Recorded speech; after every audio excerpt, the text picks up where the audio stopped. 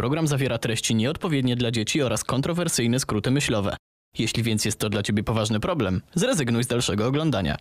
Chociaż pewnie będziesz żałować. Jakiś czas temu opowiedzieliśmy wam o Erwinie Romlu. Dziś opowiemy wam o jego koledze, ale tylko po fachu, bo George Patton walczył po drugiej stronie barykady. Miał jednak sporo wspólnego z Erwinem. Nie tylko znał i bardzo lubił jego książkę, ale przede wszystkim też był zakochany w czołgach, a gdyby dowództwo się go słuchało, to II wojna światowa mogłaby się skończyć zupełnie inaczej, zwłaszcza dla Polski. Poznajcie fana odlewania się do wielkich rzek i autora tekstu, że w wojnie nie chodzi o to, żeby umierać za ojczyznę. Chodzi o to, żeby tamci skurwiele umierali za swoją. George Patton już teraz w historii bez cenzury.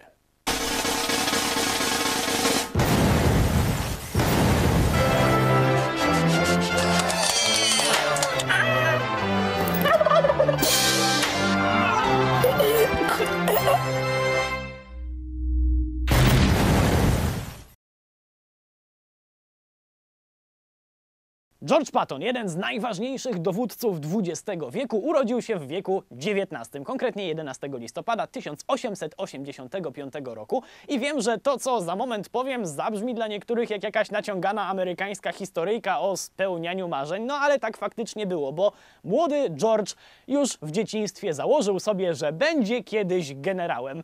Na razie sam sobie nadał taką rangę, ale robił wszystko, żeby nie skończyło się na marzeniach. Nie tylko ćwiczył posługiwanie się drewnianym mieczykiem, ale też często bawił się w rekonstrukcję i nie zawsze dobrze się to kończyło.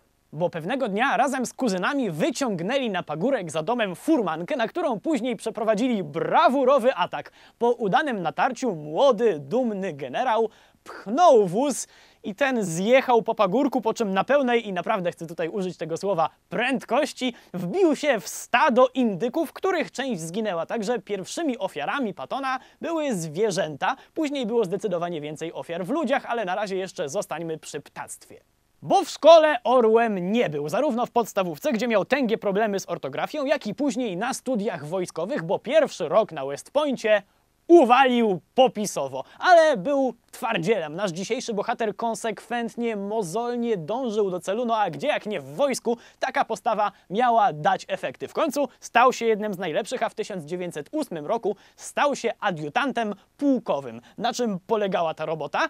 Rano czytał swoim kolegom rozkazy na dany dzień, a później maszerował na ich czele, myśląc, że ma dużo do gadania, a miał tyle władzy, co dyżurny w klasie.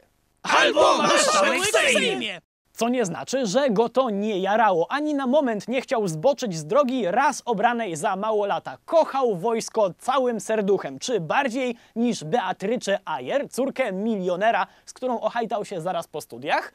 Raczej tak, bo w podróż poślubną pojechali do Europy, ale w czasie tej podróży Patton czytał jak najęty książki o wojskowości, zamiast zająć się świeżo poślubioną żoną. W końcu Beatrycze nie wytrzymała i powiedziała mu: Psia krew! Wiesz co, chętniej bym sobie jednak popatrzyła na coś innego niż książki i ty już dobrze wiesz na co. To śmieszne, bo jakby sami rozumiecie o co jej chodziło.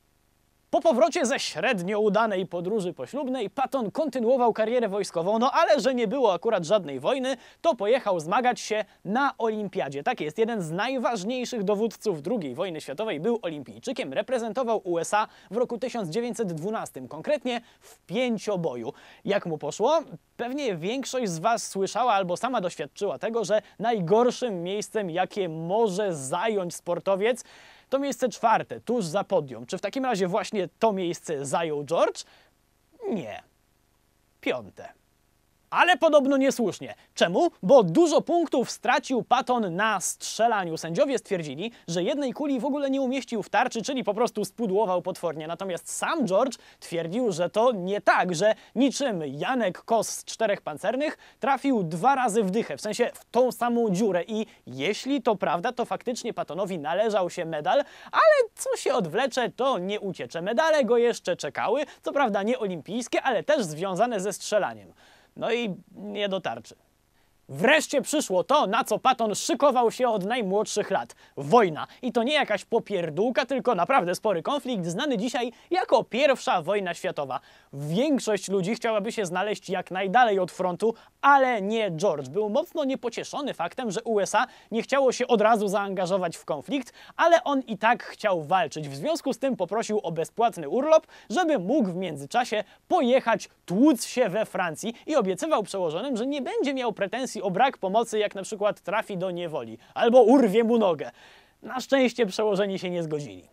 Kiedy wreszcie USA postanowiło włączyć się do imprezy w kwietniu 1917 roku, to George Patton był zachwycony nie tylko dlatego, że mógł się sprawdzić w boju, ale głównie dlatego, że to właśnie wtedy we Francji absolutnie zakochał się w nowym rodzaju broni, w broni pancernej. I wielu z Was już miało pewnie taki moment, a jak nie, to też spoko, bo Was to dopiero czeka, jak widzimy coś i myślimy sobie, o kurde, to jest to.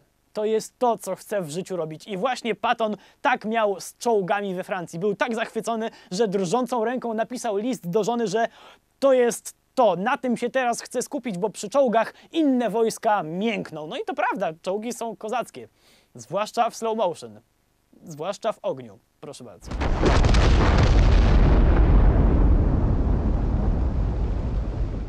Tylko wiecie, to nie było tak, że tylko Patton był jakimś tam wizjonerem, a amerykańskie dowództwo to była banda debili. Nie, oni też doskonale wiedzieli, że w czołgach może być potencjał. To też postanowili połączyć nadzieje związane z tym sprzętem z mocną podjarką George'a Pattona. Dostał bardzo ciężkie zadanie. Miał zrobić pierwszy amerykański korpus czołgów. Znaczy nie tam, żeby blachę miał spawać, tylko miał go po prostu zorganizować, ale zaangażował się całym serduchem i już w marcu 1918 roku poprowadził pierwszy atak amerykańskich czołgów, a potem miał z tego powodu straszny ból dupy.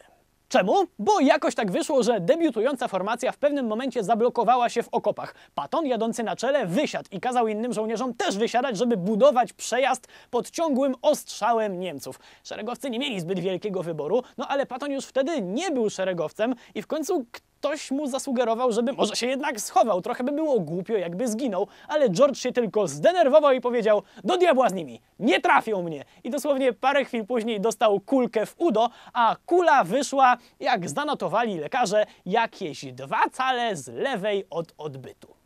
Ta wojna była już dla Patona skończona i zaczął się bardzo dziwny okres w jego życiu, no bo z jednej strony dostał medal i awans za zasługi i rozerwane dubsko, a z drugiej strony wdał się w romans z siostrzenicą swojej żony i jeszcze go koń kopnął i rozwalił mu nogę. Koń później tego dość mocno podejrzewam żałował, bo Paton jak już doszedł do siebie, to dokuśtykał o kuli do stajni i tą kulą strasznie koniowi wlał. Ale mimo wszystko w tym okresie Patona najbardziej denerwował że dowództwo jednak już nie podziela jego poglądu na to, że czołgi to przyszłość wojny. Ale do czasu.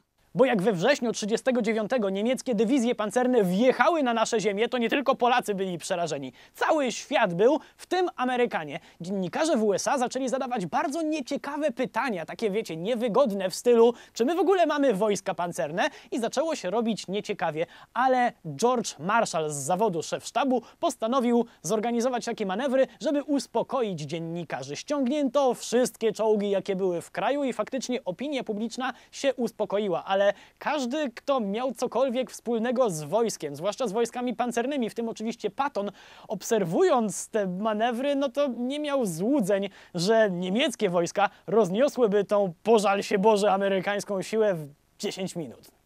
Jednak nasz bohater zamiast złorzeczyć na dowódców, to postanowił zaangażować się w organizację kolejnych manewrów. Już nie po to, żeby uspokoić prasę, ale żeby pokazać najważniejszym ludziom w państwie, dlaczego warto zainwestować w czołgi. Udało się ogarnąć taką, wiecie, z prawdziwego zdarzenia dywizję pancerną, chociaż oczywiście nie obyło się bez problemów, bo na przykład w pewnym momencie zaczęło brakować paliwa, ale Patton był zdesperowany i nie tylko kazał swoim żołnierzom zajeżdżać na stacje takie, wiecie, dla cywili, ale jeszcze tankować czołgi za pieniądze z własnej kieszeni. Czy byli zachwyceni? Podejrzewam, że nie, ale Patton dopiął swego. Jego dywizja pancerna przejechała 650 km w krótkim czasie i w bardzo ciężkim terenie, a później jeszcze oskrzydliła kawalerię i piechotę. I już nikt nie miał wątpliwości, że czołgi to są jednak dosyć ważne. W USA o wiele przychylniej patrzono na propozycje pancerne Pattona zaraz po tym, jak Japończycy wpadli do Pearl Harbor z krótką, aczkolwiek bardzo intensywną wizytą. To już nie były przelewki. USA zaangażowało się w wojnę w 100%, a Patton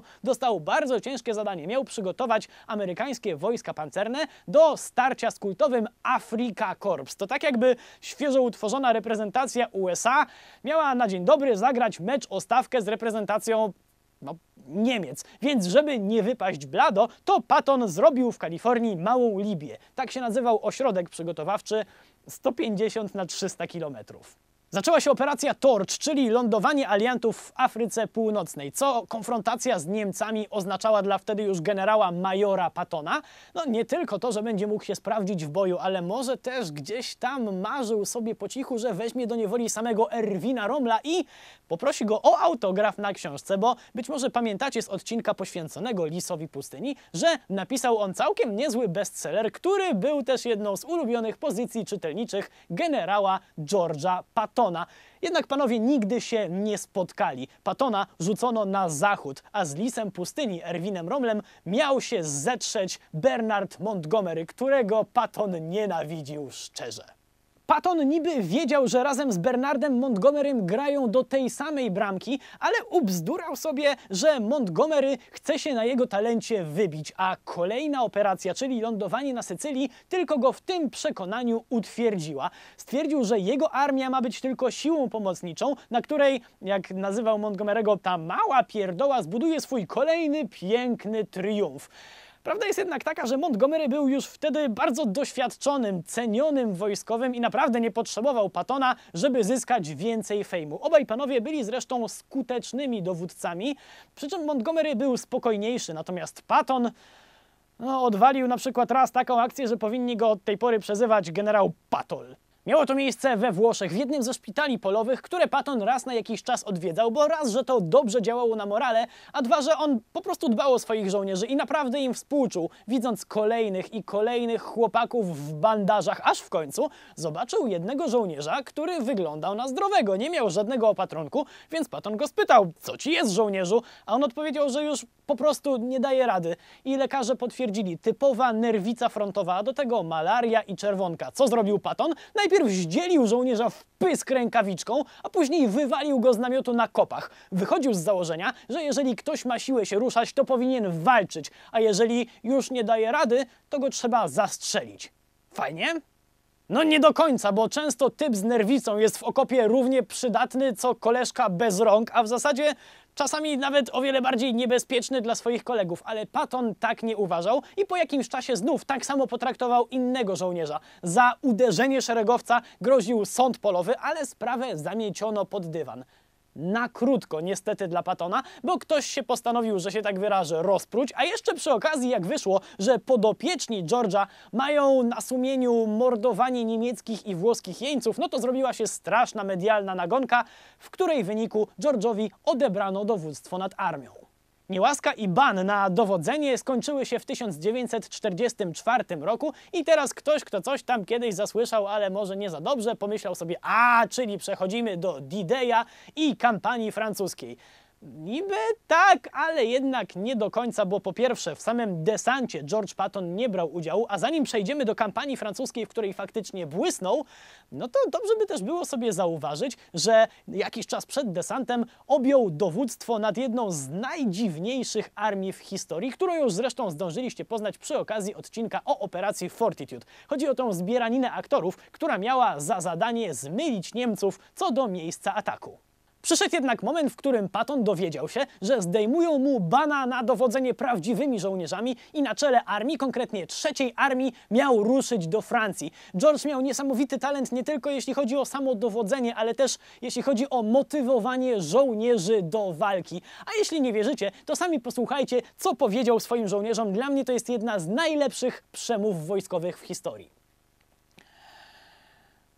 Nie chcę słyszeć żadnych meldunków w rodzaju trzymam pozycję. Kurwa, nie będziemy niczego trzymać. Nacieramy bez przerwy i trzymać możemy co najwyżej wroga. Za jaja. Kopniemy go w dupę, chwycimy za jaja i wykręcimy je tak, że się zesra. Przejdziemy przez kraj wroga jak gówno przez rurę. Będą skargi, że za bardzo popędzamy naszych ludzi. Mam w dupie takie skargi. Wierzę, że uncja potu oszczędzi nam galon krwi. Im mocniej będziemy przeć naprzód, tym więcej Niemców zabijemy, a im więcej Niemców zabijemy, tym mniej zginie naszych ludzi. Po czym na koniec dodał jeszcze no dobra, sukinkoty, znacie już moje uczucia. Z dumą poprowadzę was chłopcy do boju, wszędzie i o każdej porze.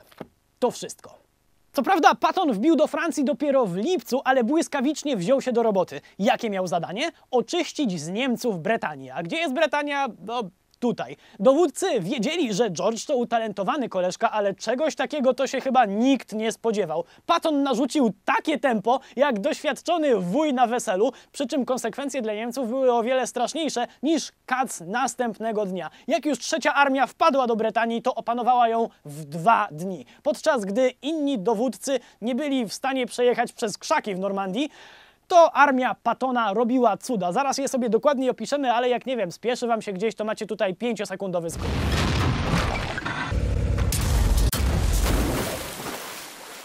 No dobra, to teraz może trochę dokładniej. Po ogarnięciu Bretanii Patton przystąpił do realizacji kolejnego celu. Ruszył w stronę Paryża i przy okazji odciął kawał niemieckiego wojska od zaopatrzenia. Robił dziennie ze swoimi ludźmi jakieś 80 km, a Niemcy robili pod siebie ze strachu. Czy Patton ponosił straty? Oczywiście, że tak, ale na jeden jego zniszczony czołg przypadały cztery zniszczone maszyny wroga. A pamiętajcie, że Niemcy, podobnie jak i dzisiaj, byle czym nie jeździli, ale Patton miał totalnie gdzieś ponurą sławę tygrysów, panter i innych. Powiedział swoim oficerom wyraźnie, że tylko on może wydać rozkaz o zatrzymaniu się, no ale w końcu musiał to zrobić. Bo jak zatrzymał się na przedmieściach Paryża, to dowództwo kazało mu nie wchodzić, bo politycznie ładniej będzie wyglądało, jak pierwsze do miasta wjedzie wojsko francuskie generała Leclerca. No trochę się zdenerwował Patton tym wszystkim, więc co zrobił, żeby sobie odreagować? Podobno wzorem antycznych wodzów, o których czytał za mało lata, odlał się do sekwany. Tak uczcił wykonanie planu, którego realizację dowództwo zaplanowało dopiero na kolejny rok. W ogóle to są historycy, którzy twierdzą, że jakby Patona nie powstrzymano i jakby mógł działać swoim tempem, to wojna skończyłaby się jeszcze w 1944, a alianci mogliby się spotkać z Rosjanami nawet na linii Wisły, a to znaczy, że nasza historia mogłaby się potoczyć inaczej. Patton nie miał jednak zbyt wiele czasu, żeby się denerwować, bo zimą w akcie desperacji Niemcy postanowili przeprowadzić kontruderzenie w Ardenach. Mieli nawet prawo mieć nadzieję, że im się uda, bo nie dość, że zostało im jeszcze trochę spoko dywizji pancernych, to jeszcze wróg musiał zrobić tęgi zwrot i przejechać 80 km w ciężkim terenie przed walką. No ale niestety, panowie Niemcy... Surprise.